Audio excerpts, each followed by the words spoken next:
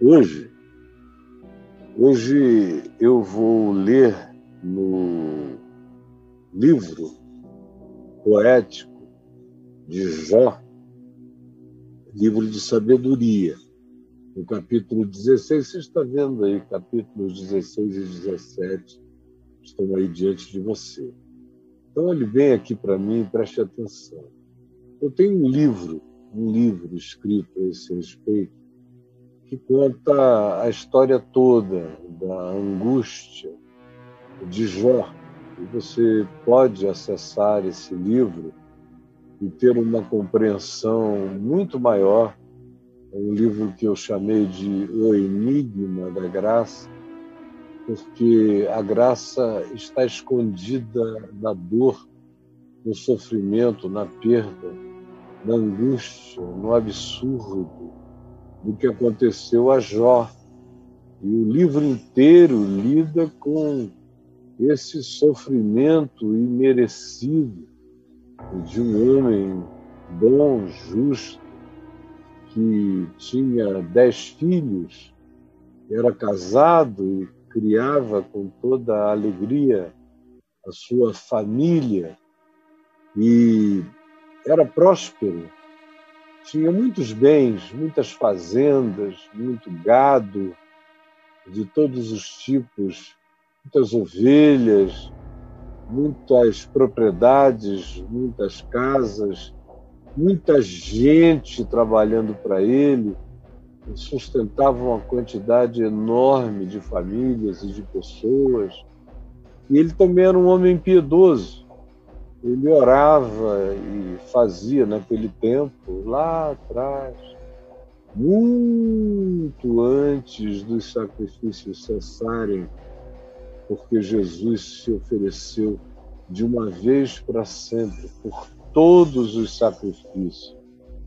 Mas ele fazia sacrifícios na casa dele, no, do lado de fora, em orações, oferecia os seus cultos com incenso, com os cânticos que ele sabia cantar, com as orações que ele espontaneamente trazia diante de Deus. E um dos temas das orações dele era acerca dos filhos. Ele orava pelos filhos, pedindo a Deus que os filhos não se entorpecessem com nada, porque ele sabia que uma coisa era Deus na vida dele, outra coisa era Deus na vida dos filhos. Frequentemente os filhos chegam e encontram tudo pronto, não deram duro para fazer nada daquilo acontecer, não tiveram sonhos, não trabalharam por eles, e aí se tornam pessoas mais frágeis, mais moles, menos perseverantes, menos tenazes, menos resilientes no que diz respeito a enfrentar as dificuldades e realizar, enfim, os projetos. E ele era esse homem respeitadíssimo por toda a assembleia de indivíduos que moravam nas imediações da residência dele. Ele provavelmente fosse uma pessoa da Mesopotâmia e muita gente ouvia falar como ele era próspero, como ele era justo, piedoso e cheio de conhecimento e de sabedoria, de modo que ele era reverenciado. Ele também tinha alguns amigos que, antes de que qualquer coisa acontecesse a Jó, eram amigos muito próximos, que visitavam-no para compartilhar entendimentos, compreensões, teologias, filosofias, sabedoria prática aplicada à vida. Então é assim que a existência dele acontece.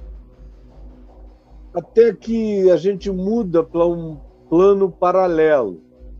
A gente deixa a dimensão do espaço-tempo e o livro de Jó faz uma introdução dizendo o que estava acontecendo numa outra dimensão. Nessa outra dimensão, é óbvio que é uma linguagem figurativa, arquetípica, não é isso que acontece no universo.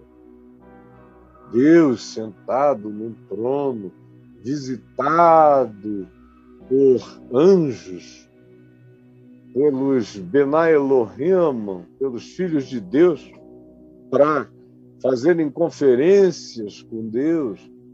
E aí se usa essa linguagem, que era a única linguagem que se podia entender à época. E até o dia de hoje. Tem gente, a grande maioria das pessoas, se você não usar uma linguagem dessa, de Deus reunindo os filhos de Deus, os anjos, e eles vão para conversar com Deus, não entendem nada se a gente não falar assim com esse nível de simplicidade simplista, não compreendem nada.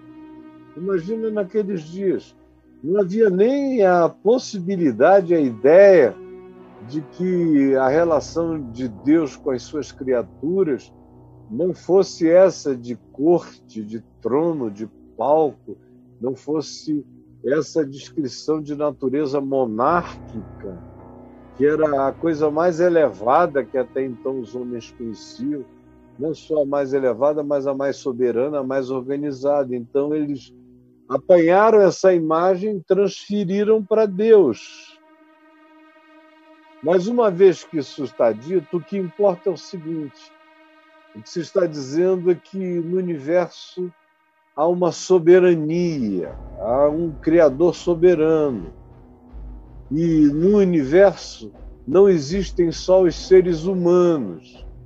Existem, além da camada do espaço-tempo, outras camadas dimensionais habitadas por outros seres, que na nossa ignorância a gente não sabe nem como designá-los, a gente os chama de anjos ou então de filhos de Deus, de Benai Elohim. Eles foram conhecidos pelos humanos pelas visitas que fizeram, trazendo mensagens. Anjo significa mensageiro, e é só isso.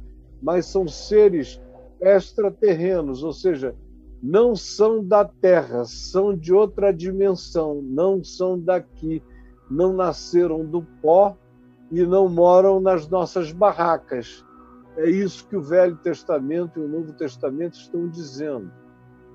E o que se diz, portanto, é que na presença do soberano, estando sempre na presença do soberano e da soberania, esses seres para quem a realidade de Deus extremamente mais consciente, presente, real do que é para nós, esses seres, no diálogo deles com Deus, se apresenta um que antes fora exatamente como eles, um mensageiro que tinha o privilégio de carregar mensagens divinas e comunicá-las como uma criatura para outras criaturas no universo onde há milhões de outras criaturas, outras dimensões, outras consciências, que não apenas a dos humanos que vivem aqui nessa bolha do espaço-tempo. É isso que o livro de Jó estaria dizendo para qualquer pessoa que fosse falar do assunto hoje. E então se diz que enquanto Jó vivia aqui nesse mundo de baixo, conforme eu já descrevi, nessa outra dimensão, quando os Benai Elohim, os filhos de Deus, se apresentam diante do Criador numa imagem que, por mais que a gente tente fazê-la diluída desse aspecto de corte monárquica, a única forma de fazê-la compreensível é essa mesmo. Então, se apresentam os Benai Elohim na presença de Deus e, juntamente com eles, vem Satanás. Vem Satanás, cujo nome significa o opositor, o adversário. Adversário não de Deus, porque Deus não tem adversários. nem adversidades, nem antagonista. Satanás é um adversário de outras criaturas. Adversário do arcanjo Miguel, adversário de Gabriel, como diz o livro de Daniel, adversário do povo de Deus, adversário do indivíduo que tem fé, adversário de Jó. É o adversário de Jó. Chega na presença de Deus e Deus, como se fosse o caso, mas vamos supor que assim seja o caso, só para fins ilustrativos, Deus pergunta a ele: Tu viste o meu servo Jó? Não tenho ninguém comparável a ele, não há ninguém como ele na terra. E Satanás concorda. Satanás diz: é, o cara é o cara, é da pesada. Agora, também, até eu seria da pesada. Tu deixa a ele tudo. Ele tem uma mulher bonita que o ama, ele tem dez filhos que o reverenciam. Ele é dono de fazendas, de campos, de glebas, de casas. Ele tem rebanhos e rebanhos, de uma quantidade enorme e variada de animais. Assim é fácil te amar, fazer orações. Agora, eu queria ver a ele, ele sem nada disso, ele falido. Eu queria ver se ele se apresentaria diante de ti com a mesma naturalidade, espontaneidade, alegria, serviço e espírito de gratidão. Duvido, duvido. E aí também, usando essa arquetipia limitadíssima, Deus diz a, a, a Satanás: olha, tu tens na tua mão para tu fazeres o que tu quiseres com ele, só não lhe toques na vida. Na vida, não toques na pele dele, na pessoa dele. Aí Satanás, oba, Vamos ver o que acontece.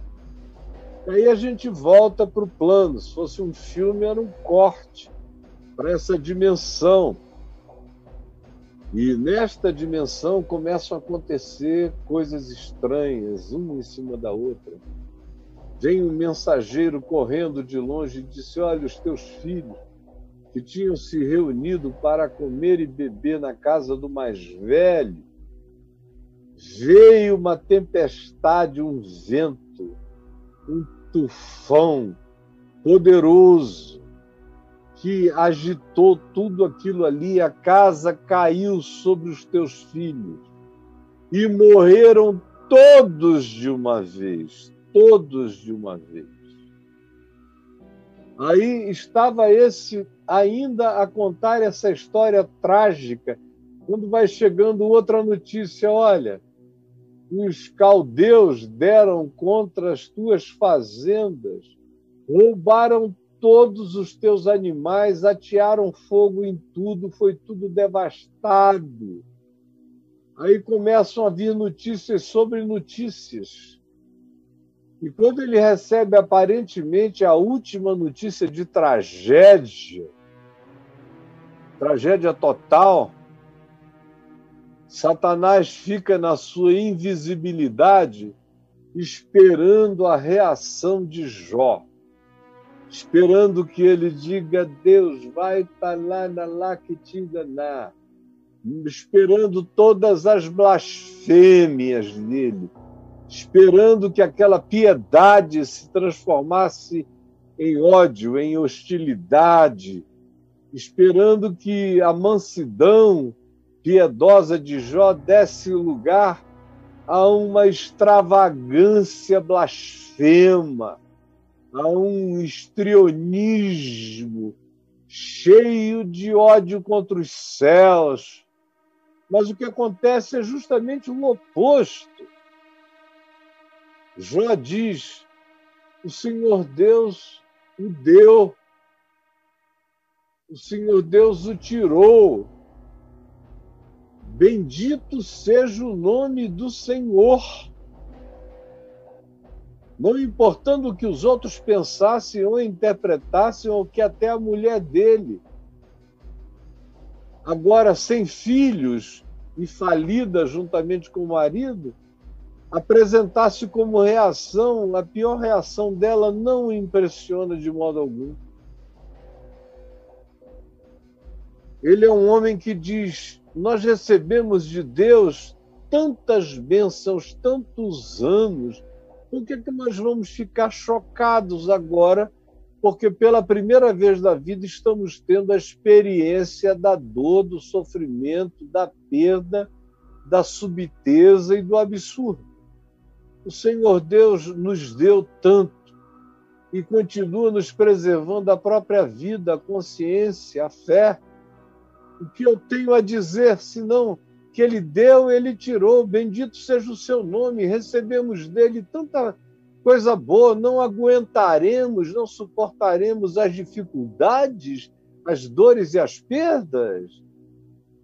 E aí, Satanás volta para a presença de Deus, corta a cena para lá.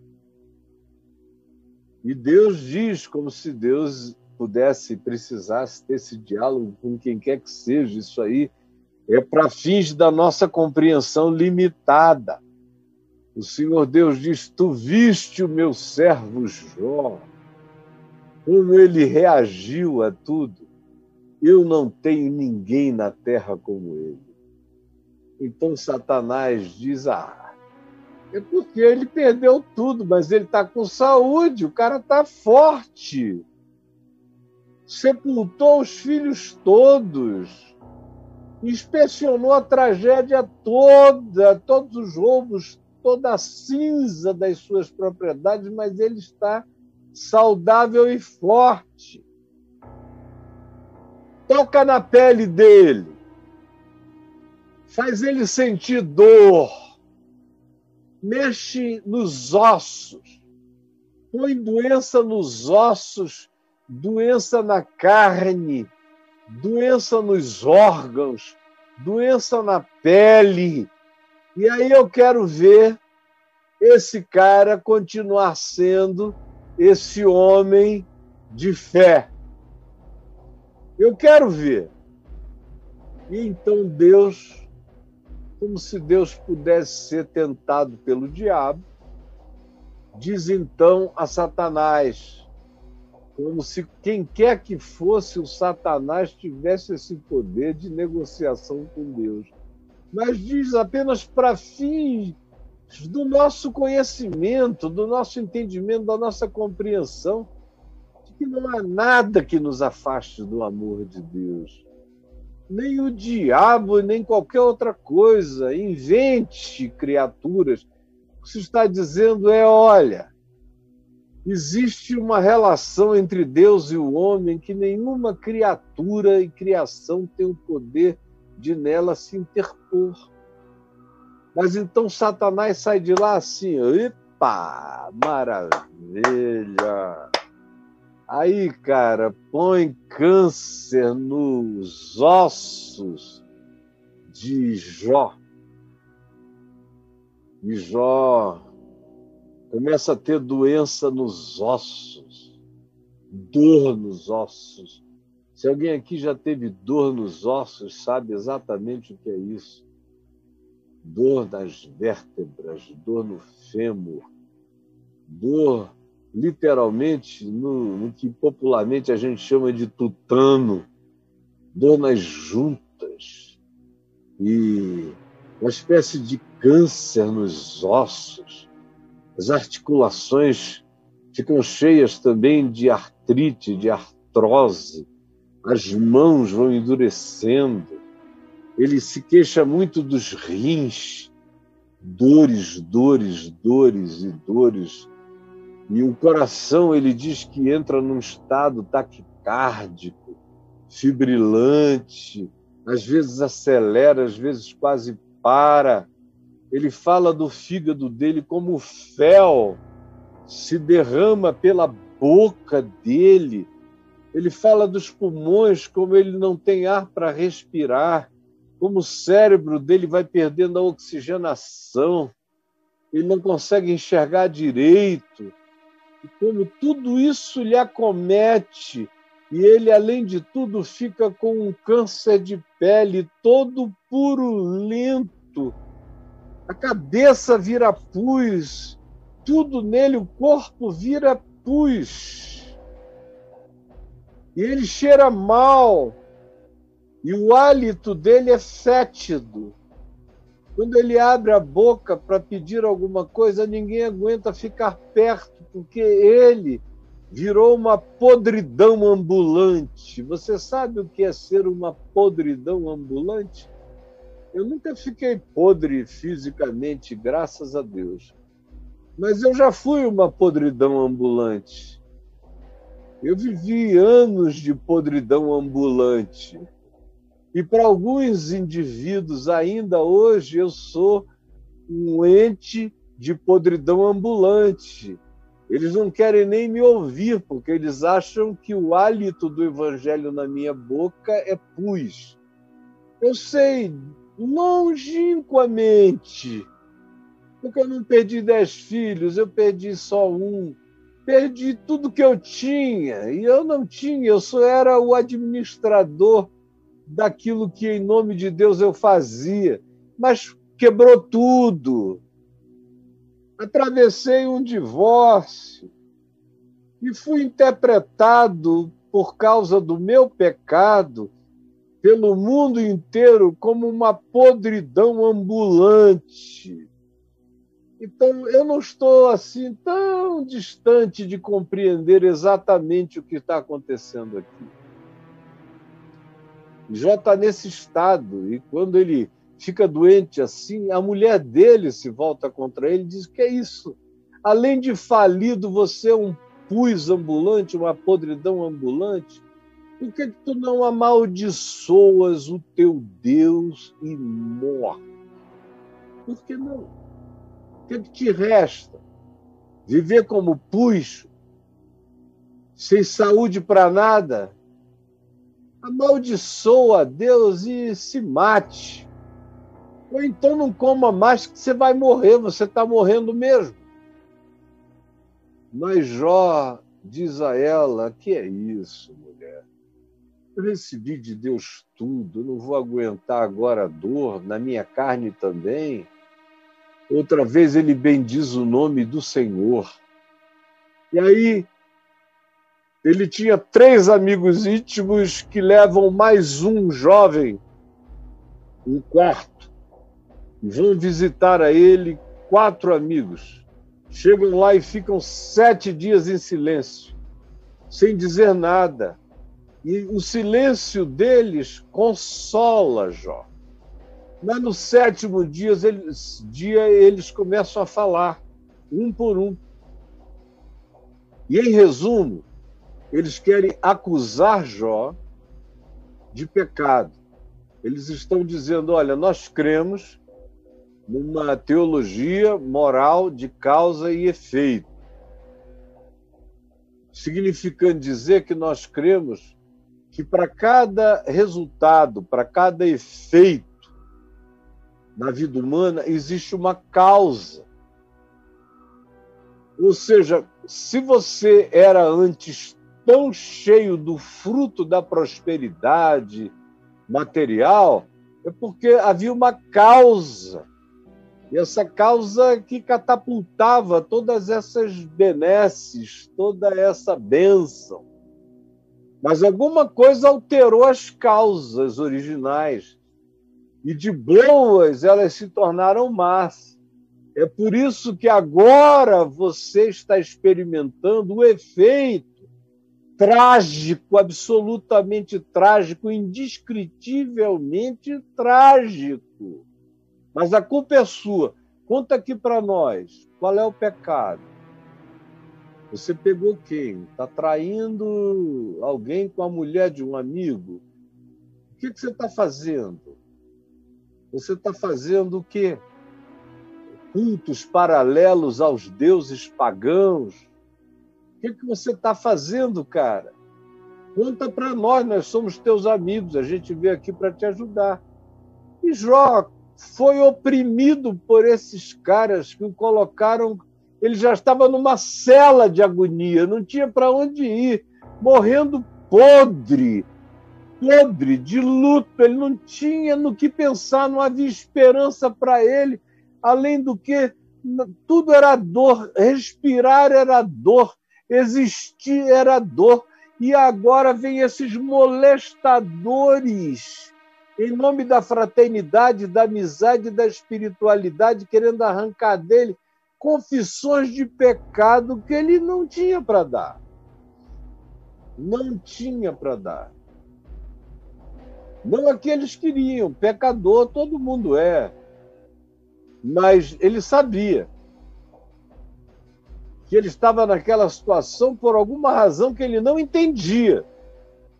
Embora ele não tivesse assistido no outro plano a conversa de Satanás com Deus, no entanto, ele sabia que em algum lugar, por alguma razão que não era lógica, que não tinha a ver com nenhuma teologia moral de causa e efeito, até porque teologias morais de causa e efeito são de um simplismo e de uma coisa tão estreita que não cabe, nela não dá para você entender a diversidade da experiência da dor humana, como tem gente santa sofrendo até a morte, como tem gente perversa que não experimentou ainda nenhuma dor, como o horizonte da existência não permite que a gente, a partir do resultado de dores e sofrimentos e perdas da vida de ninguém, chegue a nenhuma conclusão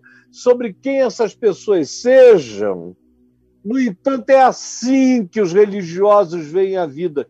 Viam nos dias de Jó e veem, veem, veem ainda hoje, ainda agora.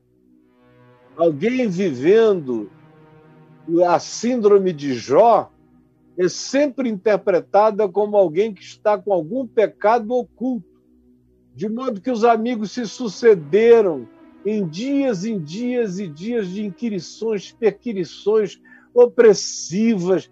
Jó foi perdendo a agonia.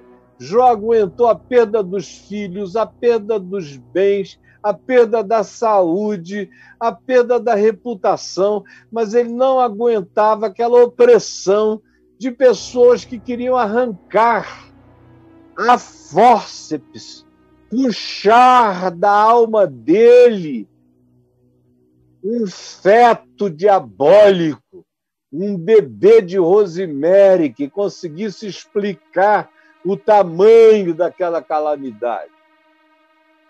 E ele se nega a negociar, sem barganhas com Deus. Quando eu escrevi o livro, O Enigma da Graça, o nome primeiro dele foi sem barganhas com Deus. Foi meu pai, juntamente com a Adriana, que me sugeriram separar o livro de Jó, colocar outro nome. Eu dei o nome de Enigma da Graça e escrevi o apêndice, que passou a se chamar Sem Barganhas com Deus, e é um outro livro que eu acrescentei e que é a extensão dessa história mostrando como não dá para quem de fato conhece a Deus estabelecer um ponto de barganha com a teologia moral de causa e efeito, que diz se você está sofrendo é porque tem um pecado que justifica esse sofrimento. Bom, meu tempo está quase acabando e eu não li o texto ainda. Vocês vão ter paciência comigo. Cheguem, cheguem, cheguem. Está aqui, no meio disso tudo, de todas essas histórias, é Jó chama os seus amigos de consoladores molestos e ele pergunta: porventura não tem fim essas palavras de vento? Ou que é que te instiga para responderes assim? Ele pergunta a ele faz, que é o último amigo que falou e o acusou, e o acusou, e o acusou de tanta coisa. Eu não vou ler o texto todo. Ele diz no verso 6: Se eu falar, a minha dor não cessa. Se eu me calar, qual é o meu alívio? Na verdade, as minhas forças estão exaustas. Tu, ó Deus, destruíste a minha família toda. A única coisa que ele sabia, ele não tinha visto o diálogo de Satanás com Deus, ele não sabia que tudo aquilo estava acontecendo não por causa do pecado dele, mas por causa da verdade, da justiça e da piedade dele. Então, olha o que sobra para ele. Tu destruíste, ó Deus, a minha família toda. Testemunha disto é que já me tornaste encarquilhado, todo encarquilhado. A minha magreza já se levanta contra mim, me acusa cara a cara. Ele diz: Em paz eu vivia, porém ele, está falando de Deus, ele é Deus, me quebrantou, pegou-me pelo pescoço, ele está se sentindo um frango, e me destroncou, me despedaçou, pôs-me por seu alvo, como se ele fosse agora alvo de flechadas. Cercaram-me as suas setas, flechas, atravessa-me os rins e não me poupa, e o meu fel do fígado derrama-se pela terra, fere-me com ferimento sobre ferimento, arremete contra mim como um guerreiro, machucando e ferindo e destruindo o inimigo. Assim eu sinto Deus, a existência vindo sobre mim o meu rosto está todo afogueado de chorar. E sobre as minhas pálpebras está a sombra da morte. Embora não haja violência nas minhas mãos e seja pura minha oração, é assim esmagado que eu estou. Então ele grita: Ó oh, terra, não cubras o meu sangue e não haja lugar em que se oculte o meu clamor. Então ele diz aquilo que eu quero compartilhar com você. Preste atenção. Verso 19 do capítulo 16. Já agora sabei que a minha testemunha está nos céus. Ele está falando com quem quiser ouvir, com os amigos, com quem quer que queira ouvir. Ele está dizendo, apesar de dizer Deus tu mataste a minha família, eu não entendo nada, para mim tu és absurdo. No entanto, apesar de Deus ser absurdo, olha só a fé que transcendeu qualquer barganha, que não depende de favor, de bênçãos, prosperidade, de saúde, de força, nem de nada. A fé está aqui para ser fé em Deus, apesar de tudo, e amar a Deus por nada. Ele diz: Já agora sei que a minha testemunha está nos céus, apesar dele dizer: Deus tu destruíste a minha família, ao mesmo tempo ele sabe que Deus é testemunha de quem ele é. Eu não sei por que, que tu me destruíste, mas eu sei que tu sabes quem eu sou. Tu és a minha testemunha no céu. Eu sei que nas alturas está aquele que advoga a minha causa embora eu não entenda por que, que tu pareças ser meu adversário. Eu não entendo por que, que tu viraste o meu Satanás, ó Deus, me arrebentando todo, sendo meu antagonista. No entanto, eu não consigo nem explicar, mas eu sei que tu também advogas a minha causa no céu. Eu estou no meio da perplexidade. Não há teologias para minha calamidade. De um lado, eu não posso negar, tu me esmagaste. De um outro lado, eu tenho que dizer, que tu és a minha testemunha nas alturas.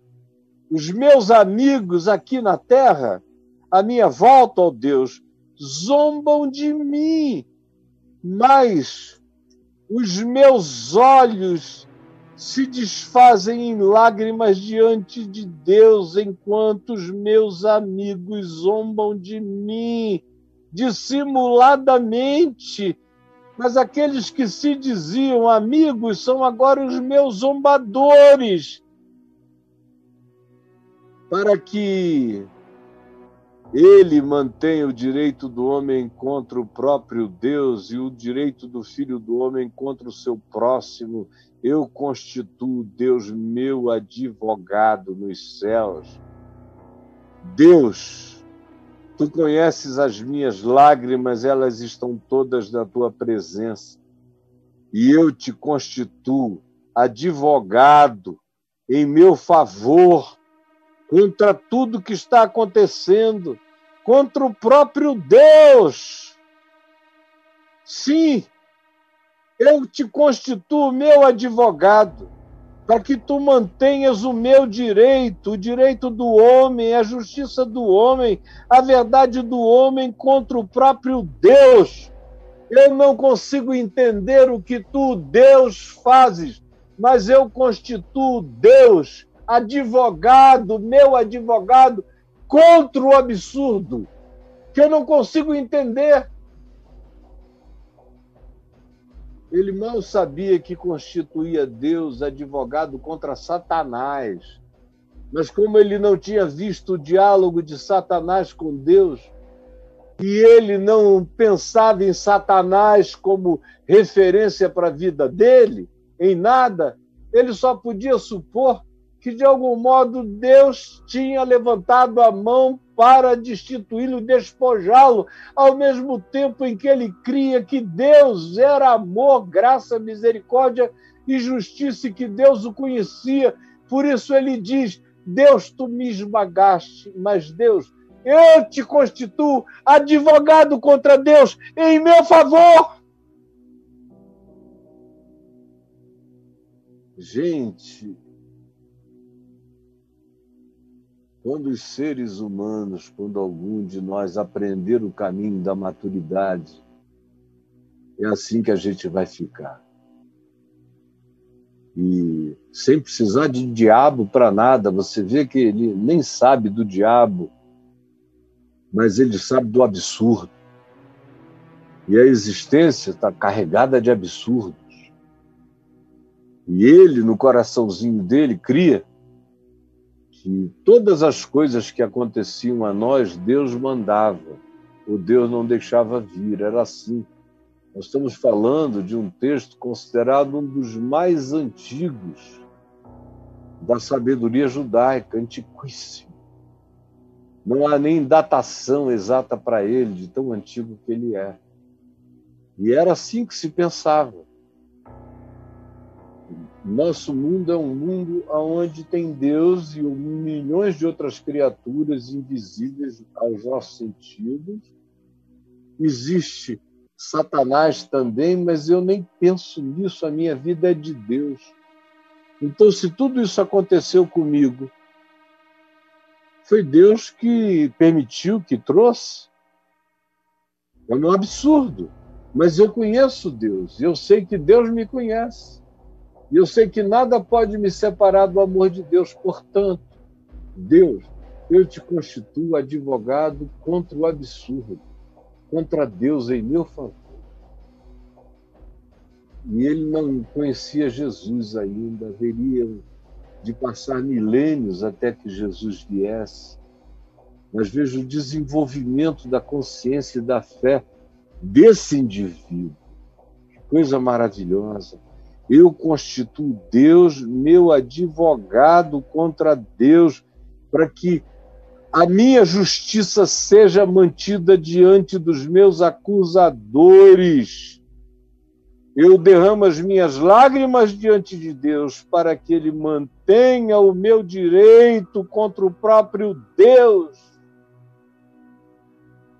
Isso é, para mim, de uma beleza extraordinária, até aonde a fé vai sem ter informação, sem ter teologia, mas intuindo a verdade do amor de Deus, o absoluto do amor de Deus contra o absurdo, inexplicável da existência humana. Ele segue no capítulo 17, dizendo: meu espírito se vai consumindo. Mas no verso 3 ele diz: Dá-me, pois, um penhor, ó Deus, seu meu fiador. É uma coisa evoluidíssima, é como Paulo escrevendo aos Efésios, dizendo que o próprio Deus é o nosso penhor, é o nosso fiador. É o fiador de que a promessa dele não vai falhar, a fidelidade dele não morreu e o compromisso dele não se esgotou conosco. Ele constitui Deus advogado contra Deus e constitui Deus o fiador para com ele mesmo como mantenedor desse compromisso divino de advogar, de ser a minha causa contra o absurdo da existência. Dá-me, pois, um penhor, seu meu fiador, para contigo mesmo.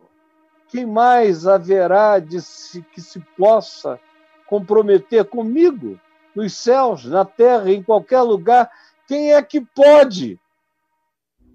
Só tu podes ser o meu advogado ao mesmo tempo em que tu pareces ser o meu destruidor, que acabaste com tudo que eu tinha, inclusive com a minha família. Mas eu creio em ti.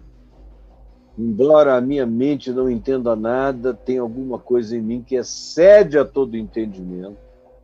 E eu creio e eu constituo Deus, meu advogado contra Deus e eu peço que o próprio Deus seja o meu fiador contra qualquer que seja a situação. Eu peço que ele seja o meu fiador para que eu encontre nele o resgate da minha vida, para que a fidelidade dele ainda mude a minha sorte. E os amigos estão ouvindo isso tudo, querendo um pecado os amigos vão ficando ruins, vão ficando cada vez mais perversos à medida em que o acusam, vão ficando quase demoníacos depois de um tempo, porque esse trabalho de tentar escavar a alma humana para encontrar pecado, para acusar e jogar na cara, baseado nessa teologia moral de causa e efeito, que é a teologia dos crentes até hoje, você sabe disso. Também a teologia de muitas religiões, quase todas, ou todas elas. O Espiritismo é uma teologia moral de causa e efeito, o hinduísmo é uma teologia moral de causa e efeito, o budismo não é tanto, mas é também, o confucionismo não é tanto, mas é também, o judaísmo é uma religião moral de causa e efeito, é Jesus quem quebra essa relação moral de causa e efeito, quando perdoa. Perdoa. O perdão, a graça, chega perdoando, quebra a teologia moral de causa e efeito. O indivíduo, às vezes, como aquele malfeitor ao lado dele na cruz que se arrependeu, paga o que os, os, os pecados que os seus atos merecem. Mas o inferno é tirado da alma dele, Jesus diz: Hoje mesmo estarás comigo no paraíso. Há outras circunstâncias em que o indivíduo seria apanhado mais adiante, em algum momento, ou até na morte, pela teologia moral de causa e efeito, mas o perdão de Deus interrompe aquele fluxo de maldades, a pessoa se converte e inicia-se todo um processo de restauração na existência dele porque assim é o Evangelho. É por isso que o Evangelho é boa nova, porque ele quebra, ele quebra a mesa de ferro da teologia moral de causa e efeito. Ele quebra o coração de pedra da teologia moral de causa e efeito. E coloca um coração de carne nos seres humanos, quebra Ele pega pessoas que estavam fadadas ao inferno de ser e a graça dele muda tudo na vida do indivíduo. Por isso é que bandido bom não é bandido morto, bandido bom é bandido convertido.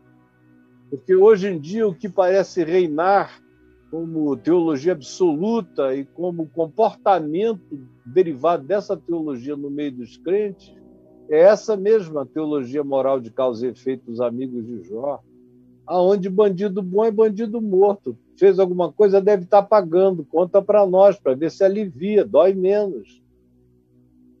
Mas o evangelho quebra a mesa de pedra inflexível dos domínios dessa acusação universal. Todos os povos, todas as religiões se basearam nas teologias morais de causa e efeito.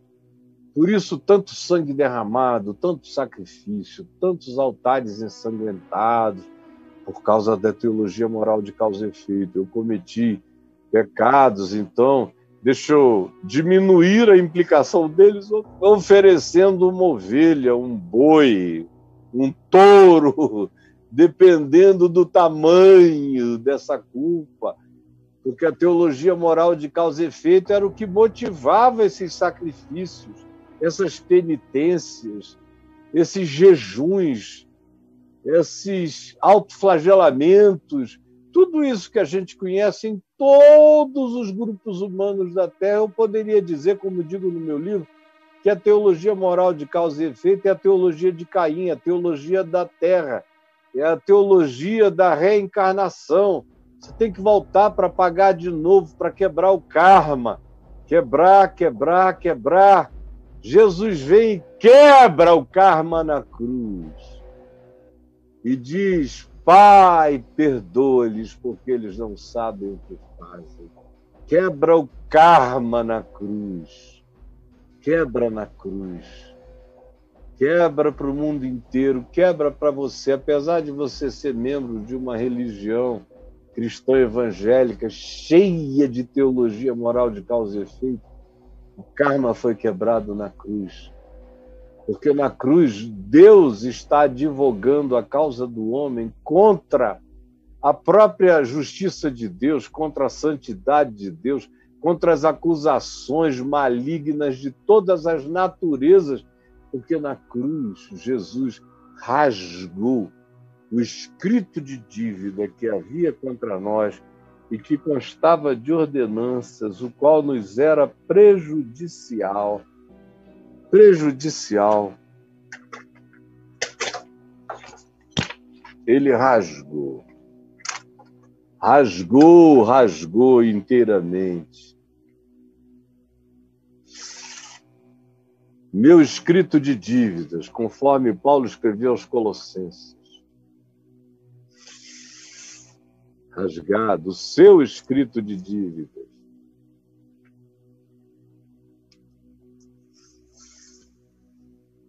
rasgado seu escrito de dívidas, todas as suas dívidas picadas na cruz. Ele disse: está pago, está consumado.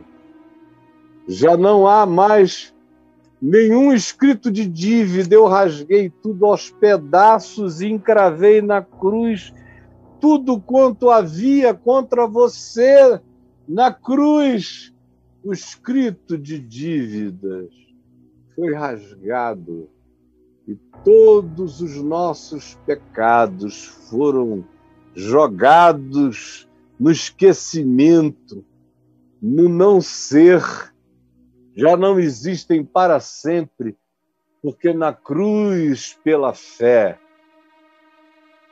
eu constituo Deus que estava em Cristo, meu advogado, contra o próprio Deus nas demandas da verdade e da justiça que eu não alcanço.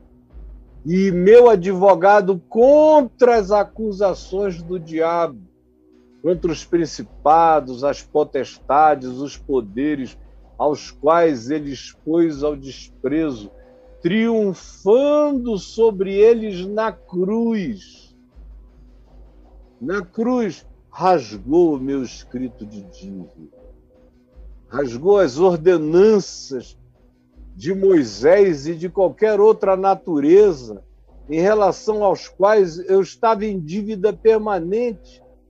Porque a lei de Moisés diz que se você obedece toda a lei, mas falha num mandamento, você é réu de todos, de modo que você continua culpado de todas as coisas. Meu Deus, de tudo. Você está lá, sofrendo o que estava escrito contra você, escrito de dívida, que havia contra nós e que constava de ordenanças, ele removeu inteiramente, encravando-os na cruz. Todos os seus pecados, os meus pecados, todas as nossas dívidas, todas elas rasgadas e encravadas na cruz.